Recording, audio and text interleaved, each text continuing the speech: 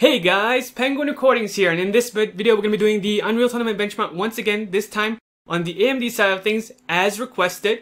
Now, a couple things to note beforehand is that this is a pre-alpha version of the game still. I'm going to be running it in OpenGL 3.2 on Ubuntu side and DirectX 11 on the Windows side. A couple of reasons why I do that at the end of the video. I'm also going to be running this on the Radeon SI drivers, Mesa 11.1, LLVM 3.8, kernel 4.2 on the Ubuntu 15.10 side, and Catalyst 15.10 beta drivers on the Windows 10 side. So without further ado, let's go ahead and see the results.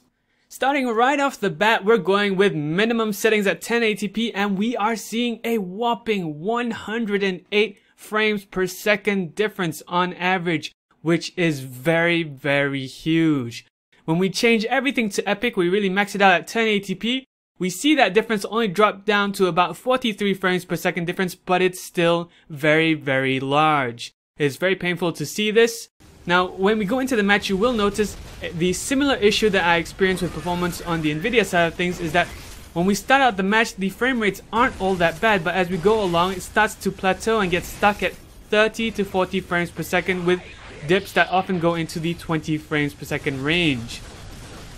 So the results here are pretty much the same as you'd see on the Nvidia side of things, which showcases that this is a Unreal Tournament specific issue when it comes to performance. We also see the uh, texture issue here with the link gun not having textures.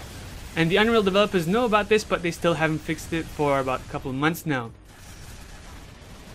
So if you want to go into this competitively right now is definitely not the time. The pre-alpha still needs a whole lot of bug fixing for their OpenGL renderer and performance improvements. I really do hope they take this seriously because these these are greater than 50% differences here that we're seeing. Alright, summary time. So on minimum settings, we were seeing about a 60% difference on average, alright, with everything set to low with the Windows version of the game running at a higher frame rate than the Linux version. Then when we maxed everything out to Epic, we are only seeing about a 44% difference on average. So there is a decrease, but still not good enough to be considered on par. If we were seeing maybe only a 10 to 5% difference, then things would be a lot more acceptable. So the reason this benchmark is limited to OpenGL 3.2 is that when I max everything out to OpenGL 4, on Epic settings, we're seeing what I'm going to show you right here, a pretty bugged out scene. Then when I put everything to low while still using OpenGL 4, it's still unplayable. Even though the scene is more visible, it's completely unplayable in this retrospective. So I use the Radeon open source drivers this time around because, as I will show you right now, I got better frame rates in it than using Catalyst 15.9.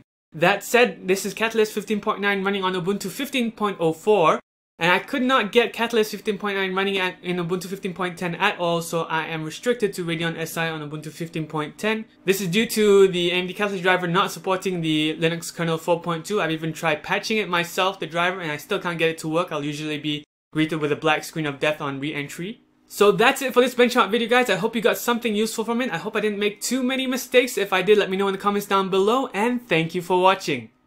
If you're interested in seeing the NVIDIA results, here is the video on the left. Just go ahead and click it so you'll jump right to that video.